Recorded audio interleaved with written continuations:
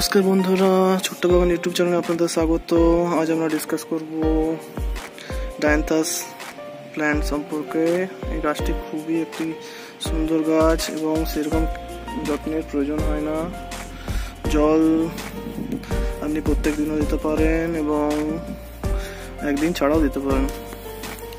ফুল সানলাইটের মতো রাখবেন গাছটি। যদি আপনি ফুল পেতে চান এসেছে ফুলগুলি যখন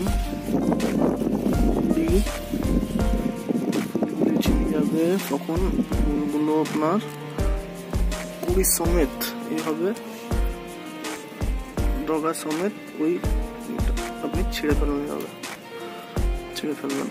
তাহলে আর বীজ তৈরি হবে না এবং গাছটি আরও ফুল বেশি করে প্রডিউস করবে এবং আরও ঘন হবে।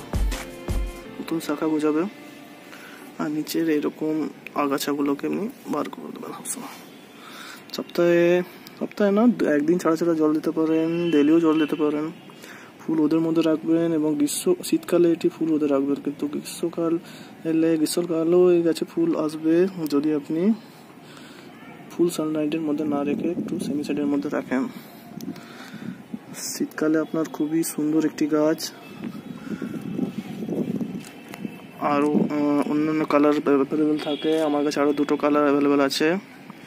আপনাদের ওটা দেখাচ্ছি।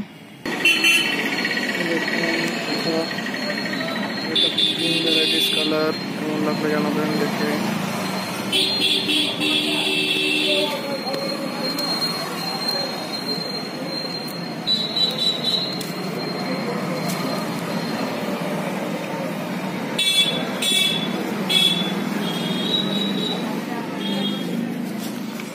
Thank you.